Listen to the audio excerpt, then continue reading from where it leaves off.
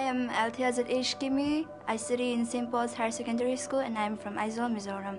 I wrote a topic on Chantlang. Chantlang Tlang means in Mizo hill, so it is basically Chan Hill. Chantlang is located near Vaphai Grouping Center in Mizoram. As it is not a famous heritage, some people pass by this mountain without knowing its value or beauty.